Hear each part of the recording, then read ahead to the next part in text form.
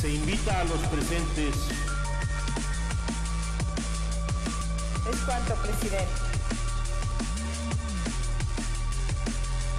De conformidad con los acuerdos de esta sesión,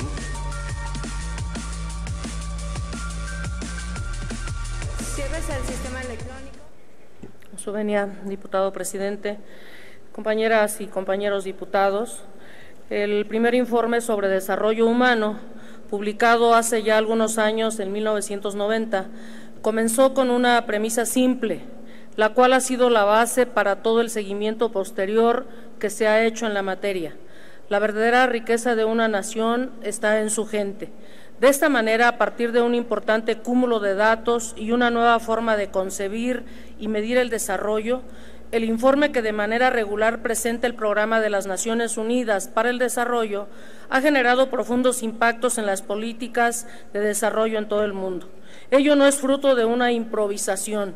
Este enfoque, estudio e impulso del desarrollo humano centrado en las personas. En los noventas, Amartya Sen, Premio Nobel de Economía en el año 1998, asesoraba ya a las Naciones Unidas en la conceptualización del bienestar social y permeaban sus opiniones en la perspectiva dinámica del estudio sobre la pobreza, así como en el desarrollo sostenible del ser humano.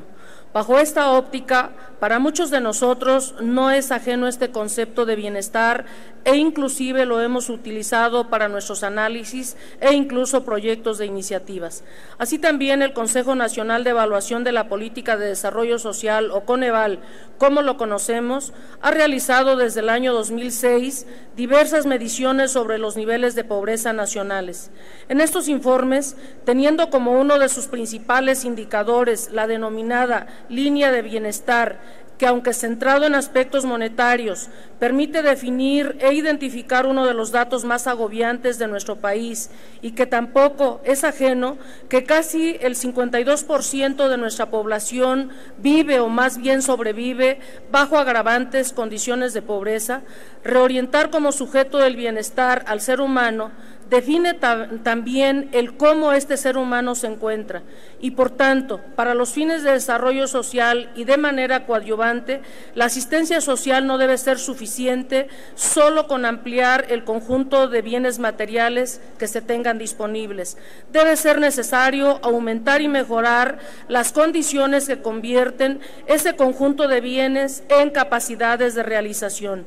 En tal sentido, en concordancia con lo establecido en el artículo 167 de la Ley General de Salud y la penosa realidad que nos exige una mayor actuación ante la deficiencia en el estado de bienestar, la asistencia social deberá impulsar no solo proveer de un conjunto de bienes para aquella población más vulnerable, debe fomentar las condiciones que propicien modificar y mejorar las circunstancias que impidan a las y a los mexicanos su desarrollo integral, cualesquiera que sean estas, ya sean físicas, mentales, social y económicas. En eso consiste generar condiciones de realización, en desarrollar las potencialidades y capacidades de las personas, siendo este el fin último del bienestar humano.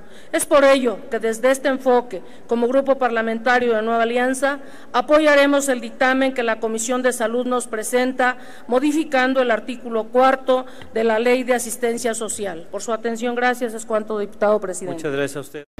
Cámara de Diputados, sexagésima segunda legislatura.